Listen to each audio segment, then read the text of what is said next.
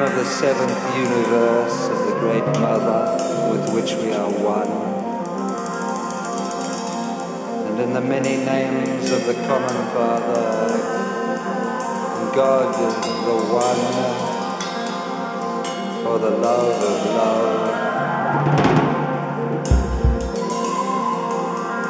Let it not be our music, but your music.